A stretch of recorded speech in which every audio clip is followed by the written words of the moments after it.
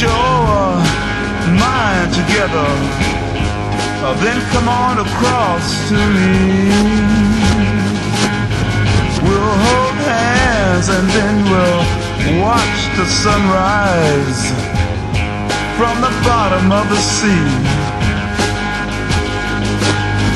But first, are you experienced?